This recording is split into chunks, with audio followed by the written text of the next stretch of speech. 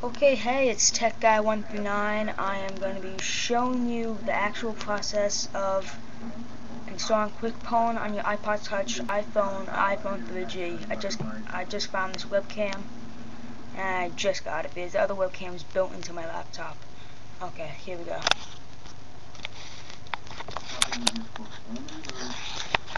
Okay. First thing to do is I'm gonna have to restore your iPod over here to 2.0.2 Apple software, not the hack, just the Apple.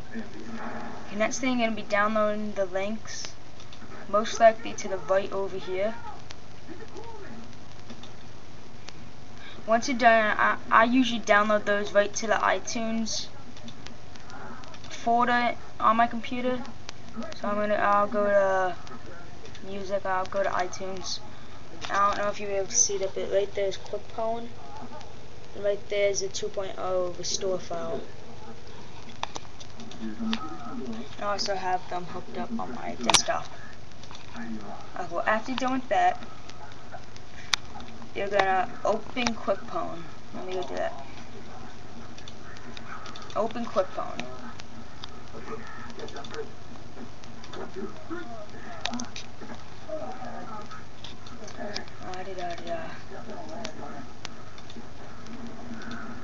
I have to do this. My computer's kind of messed up, so not from the QuickPwn. Okay, here we go.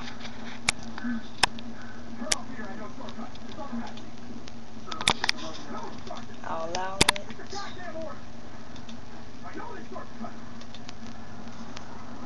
Okay, this is what the screen you're gonna get.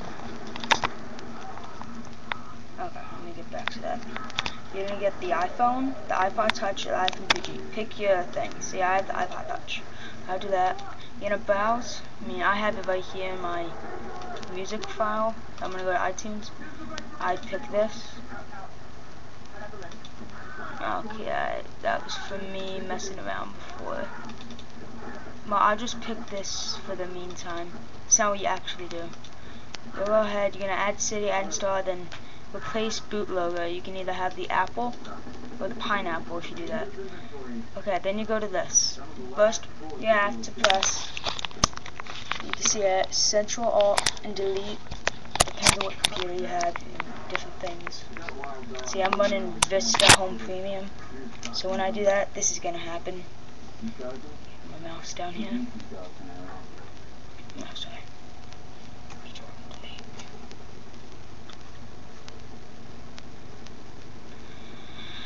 Yeah, sometimes it takes a couple minutes.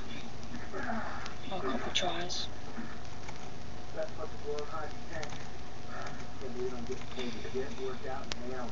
Oh, it's not working, but Task Manager will come up. You gotta um, stop running all the Apple things like iTunes, iPod, or Apple. Okay, after that you're gonna press Go. It's gonna be hashing. I'm just taking my iPod out because I already hacked it. This is what's going to come up. You're having all this done. All the way down. Okay, so it's going to take a minute. After it's done with all the, um, after it's done with all the downloading stuff. Now going to answer yes, but even though my iPod's not connected to the computer right now, I'll answer yes.